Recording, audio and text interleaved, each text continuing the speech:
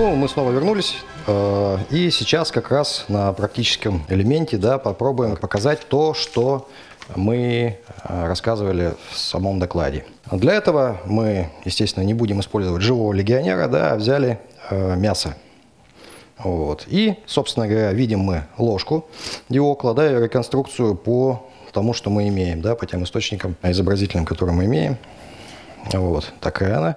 И сделали э, два классических э, наконечника, опять же, по находкам из Виндонисы, то есть там, где у нас как раз стоял 11 легион. Вот. Это более простой наконечник, который использовался римлянами, видать, для пробивания доспехов. Э, такой вот пирамидальной формы, острый. И наконечник э, с э, двумя шипами зазубренными, да, которые препятствовали бы его излечению из раны. Таких и таких наконечников найдено очень много. Вот. И поэтому такие классические римские наконечники мы и будем использовать в нашем эксперименте. То есть мы попытаемся с помощью ложки диокла их извлечь из тканей. Ну, начнем с самого простого. Это наконечник, который, собственно говоря, и так бы без всяких проблем вышел бы из э, мяса. Помещаем его в ткань. И уже сразу мы видим проблему, да, то есть, которая бы у нас возникла при извлечении этого наконечника из ложки диокла. То есть раневой канал от такого наконечника очень узкий. И вот эта плоская форма вот этого совочка и ложки, она не конгруентна да, с, э, самим каналом. То есть для того, чтобы нам использовать эту ложку, нам пришлось бы раневой канал расширять, то есть рассекать его э, в стороны, влево-вправо, чтобы ложку провести. Хочу сказать, что вообще кожа человеческая, да, и ткани, они достаточно плотные. То есть просто так что-то проткнуть тупым инструментом у нас не получится. Поэтому... Если что, помогать буду я. Хорошо. Поэтому мы расширили сейчас раневой канал, да, хотя бы эту кожную часть, да, и попробуем сейчас провести ложку диокла. В принципе, как бы, конечно, проводится все. Но вот уже первая проблема, которая возникла, то есть у нас наконечник а я поместил в кость, то есть острие наконечника в кости. И нам ложку диокла уже не, собственно говоря, не провести, а чтобы нам подловить это. Но, слава богу, здесь у нас есть древка, мы можем попытаться покачивать. Собственно говоря, есть работа Галена, в которой и описывается подобное, да, что если есть возможность, то, конечно, извлеките э, стрелу за э, древкой. Вот, покачивая, в принципе, можно попытаться наконечник этот поймать. Но достаточно сложно, потому что само отверстие маленькое у ложки, и как бы без визуализации это все на ощупь делать очень непросто. Но на самом деле хочу сказать, что не могу это сделать зацепиться. Но, э, слава богу, это свинина, да, и под воздействием трения э, металла, металл, э, стрела выскочила сама. Вот. Попробуем усложнить задачу. Э, бывали такие случаи, когда, ну, в принципе, так и было задумано во многих случаях, когда наконечник просто слетал с древка и оставался в ране. Гален рекомендует в таких случаях рассечь раневой канал, открыть его с помощью крючков и аккуратно а, схватив костными щипцами, извлечь. Вот, попытаться извлечь. Ну или были вообще варианты с прокалыванием полностью конечности. Вот. Сейчас мы снимем его, наконечник с древкой, поместим в ткань.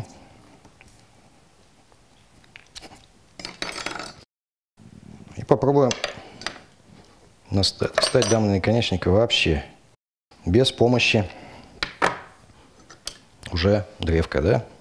Опять же, та же самая проблема, то есть нам снова надо рассекать раневой канал.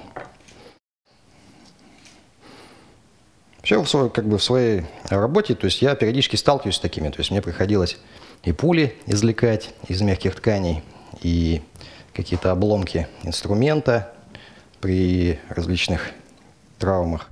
И это большая проблема вообще, потому что найти в мягких тканях небольшой металлический инструмент – или кусочек э, железа, металла достаточно сложно. Даже с нашими техниками, когда у нас имеется раневый канал, и когда у нас имеется рентген, КТ и так далее. То есть небольшие вещи вообще даже тактически иногда э, говорят, что надо доставлять. Ну вот, собственно говоря, без этого, без э, древко, ложка, дёкла вообще нечего тут делать. Поэтому можно прийти к тому же самому методу, да, то есть расширить э, канал с помощью крючков, как-то его раскрыть, попытаться зайти туда костными щипцами, захватить наконечник и извлечь его. Ну, самый простой вариант. Первая операция в моей жизни. Сейчас будет еще и пострашнее. Теперь попробуем э, извлечь наконечник э, более жуткий, да, собственно, ради которого э, это и ложка и была придумана. Почему? Потому что ложка по описанию Цельса как раз и нужна для того, чтобы защитить ткани от вот этих вот острых краев. Но я специально сделал наконечник чуть шире, потому что естественно, что э, никто из противников не будет придумывать специальные наконечники для именно этой ложки, да, и будет пользоваться тем, что есть. И поэтому вот самый такой сложный вариант, когда, э, скажем так, ложка не конгруентна, да, с наконечником. Давайте попробуем. Ну вот, собственно, попробуем. Сейчас, конечно, э, раневой канал у нас имеет э, достаточно интересную э, структуру, да, то есть расширять уже ничего не надо. То есть можно попробовать по раневому каналу эту ложечку ставить. Ну и та же самая проблема, достаточно сложно вот этим маленьким отверстием, несмотря на то, что она немножко деформирована по типу вот э, отверстий утерки, да, для овощей. Тем не менее, поймать этот наконечник ну, не представляется возможным без контроля зрения. Плюс при наших манипуляциях тут же сразу наконечник поворачивается, и э, вот эти вот, собственно говоря, стрелки начинают работать. То есть они упираются в ткань. Ну, попробуем помочь себе маленько.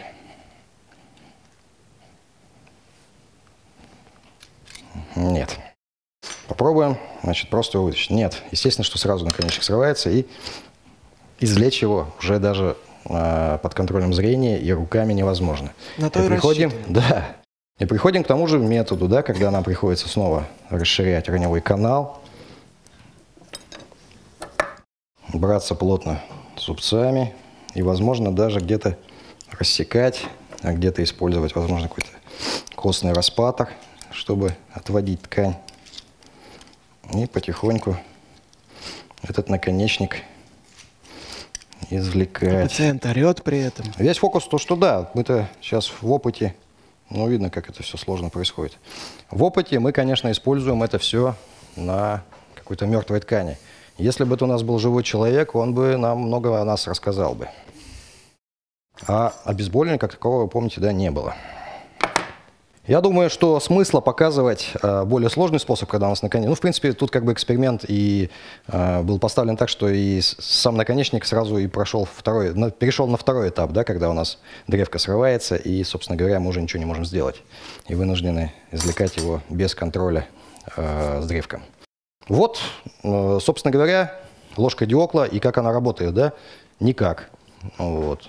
Возможно, конечно, если провести эксперименты, посмотреть, если это не подделка, как многие думают, да, 19 века, если посмотреть, где она была найдена, посмотреть, какие там были наконечники в тот период, как это все работало, возможно, ну, как-то есть какая-то определенная взаимосвязь, корреляция, да, но э, вообще не очень, не очень все это хорошо.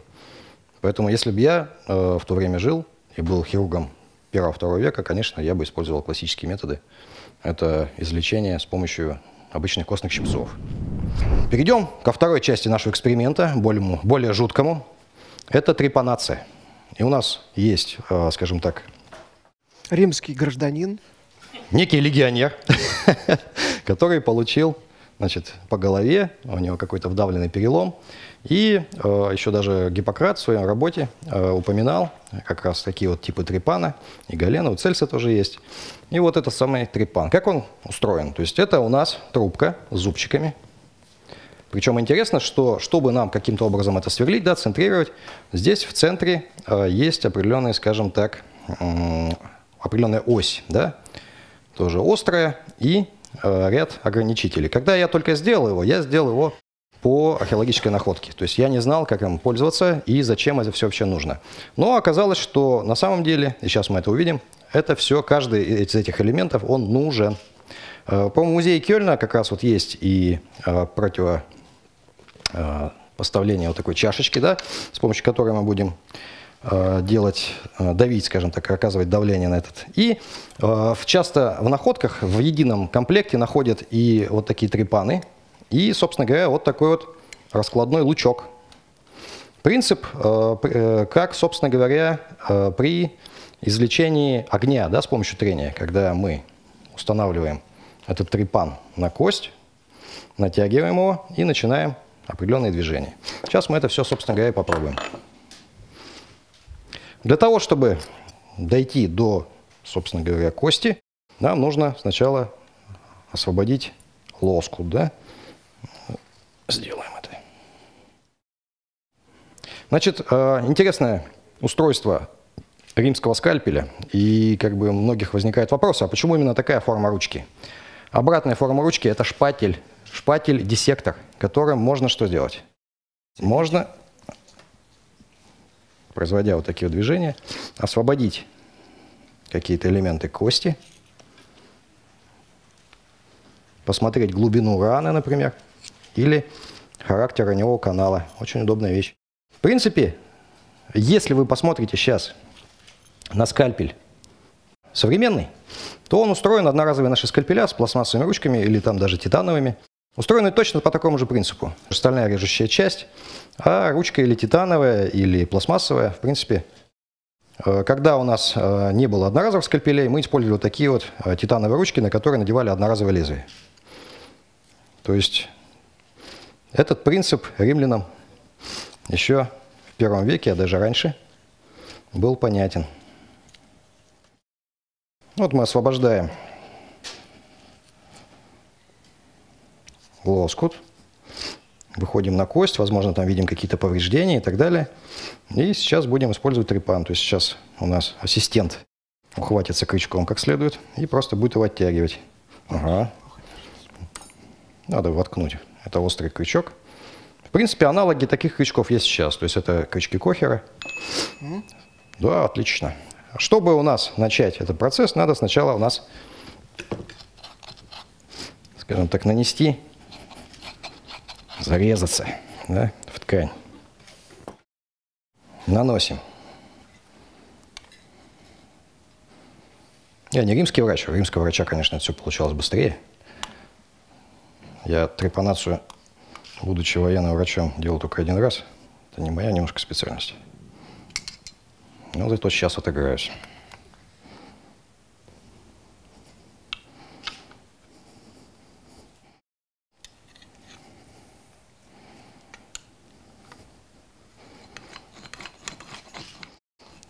Видно, да, что с небольшими проблемами все прекрасно работает. Происходит сверление кости. А, и Гален, и Цельс, они описывали, что при таком сверлении, значит, трепан очень быстро нагревается. И его надо остужать. В принципе, тот же самый принцип и у нас при трепанации. То есть, когда мы используем фрезы, то мы периодически их остужаем в травматологии. Остужают в воде? Нет, э, ну, можно поливать физраствором там mm. или какими-то антисептиками, мало э, агрессивными. Вот. Весь фокус в том, что если его не остужать, сам инструмент будет э, нагревать ткань и приводить к вторичным потом некрозам в этом месте. Ну, э, с чем мы столкнулись, когда, в принципе, понятен, я думаю, да? Э, можно э, посмотреть внимательно, да, что у нас, в принципе, пропил, пропил уже глубиной несколько миллиметров. Э, с чем мы столкнулись, когда пилили первый раз свиную голову в нашем эксперименте? Дело в том, что этот трепан не может просверлить свиную голову. Почему? Если вы посмотрите, то увидите, что здесь у нас есть ограничители. Толщина кости свиньи гораздо больше. У человека она там обычно 4-5 миллиметров в разных, ну, в зависимости от того, где это происходит, э, в каких этих областях, там, теменной, там, затылочный и так далее. И если мы будем использовать и другой трепан, что, что может произойти? При наших э, аттракциях каких-то трепан просто провалится в мозг. Чтобы это не произошло, здесь были сделаны ограничители. И свиную голову мы просверлить не смогли. Почему? Потому что толщина человеческих костей, человеческие, это свиное разное. Потому что трепан был совершенно был другой, э, скажем так, формы и возможности, и поэтому свиную голову этим трепаном человеческим не просверлить. Вот с этим мы столкнулись когда проводили эксперимент. И сами авторы пишут, что после того, как у нас произведена трепанация, не пытайтесь просверлить до конца, а все-таки пытайтесь использовать различные виды распаторов, костных каких-то э, шпателей, с помощью которого различными э, манипуляциями этот костный фрагмент нужно потихоньку удалить для того, чтобы не повредить мозг. И вот в плане, опять же, каких-то элементов, которые наносились сюда, якобы в виде трансплантатов, да, весь фокус в том, что в отсутствие асептики, антисептики, знания об этом, да, в отсутствие нормальных антисептиков и асептической среды для операции, все бы закончилось очень печально, если мы сюда положили что-то и зашили бы. Это было, было источником инфекции, и все бы это гнило, и, скорее всего, привело бы к воспалению оболочек и головного мозга, и закончилось очень печально. Ну, я думаю, достаточно все было просто. Легко. Поздравляю вас с первой вашей операцией. Спасибо, профессор. Вот. Ну, можно на этом закончить. У вас появились вопросы. Вы с чем-то не согласны? Пишите комментарии с хэштегом постскриптум. Докладчик будет отвечать на ваши вопросы в прямом эфире на канале Лаборатория научных видео. Часто люди, которых мы называем просветителями, являются источниками мифов. Лекарства должно быть много, лекарства должно быть неприятного вкуса, ни в коем случае не должно быть прозрачным. Не должно растягиваться на годы, на месяцы. Была ли практика вставлять здоровые зубы крестьян барам, потерявшим свои?